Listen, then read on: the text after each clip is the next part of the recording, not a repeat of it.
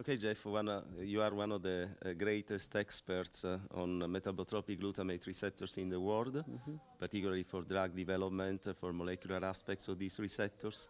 And uh, your interest focuses on Parkinson's disease and also on schizophrenia. Mm-hmm. Uh, can you tell us something about? Sure. Yeah, I, I think with uh, Parkinson's disease right now, a lot of exciting things are happening. Uh, there are now drugs that are in clinical testing uh, from companies like Novartis that are showing promise in Par- Parkinson's disease. And these first drugs that are being developed are showing most promise in helping with uh, a side effect of the current medications, spontaneous movements that we call dyskinesia. But shortly following that are compounds that we've developed, and we're now uh, working with a, another company to develop an advance that we hope will have efficacy in reducing all of the major motor effects of Parkinson's, and possibly uh, based on Professor Nicoletti's work here and others, uh, we have some evidence that they may slow progression of the disease. So we're very hopeful. But those should be begin clinical testing next year.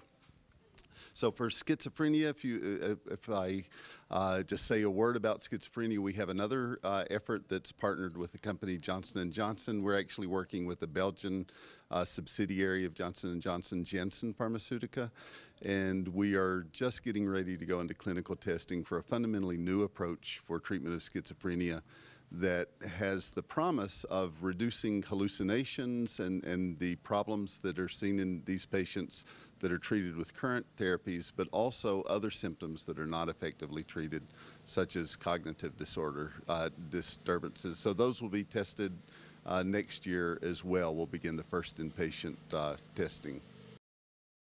Sì, è un periodo molto felice per il trattamento sperimentale della malattia di Parkinson, una malattia che conoscono tutti, eh, molto frequente. Eh, una ditta, eh, la Novartis, eh, sta per mettere in commercio un farmaco non tanto per i sintomi del Parkinson, cioè i disturbi del movimento, quanto per alcune complicanze della terapia attuale, che è la terapia con levodopa. Eh, queste complicanze sono dei movimenti involontari che si chiamano in gergo discinesie. E il farmaco FQ056 è mh, probabilmente un farmaco innovativo in questo senso.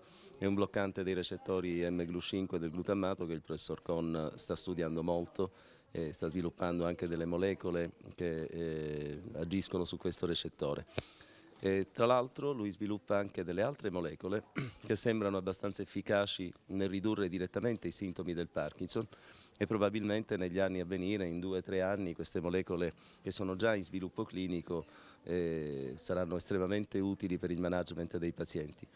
Per la schizofrenia invece eh, lui propone una strategia completamente nuova, questo in collaborazione con la Johnson Johnson, anzi con la Janssen in Belgio, e i nuovi farmaci che sono in via di sviluppo non servono soltanto a ridurre i sintomi positivi della schizofrenia, per esempio delirio, allucinazioni, eccetera, ma anche i disturbi della sfera cognitiva eh, che stanno un po' al cuore della patologia e che i principali farmaci antipsicotici che abbiamo in commercio non riescono a migliorare. Eh, quindi veramente un grande contributo e grandi speranze per il futuro.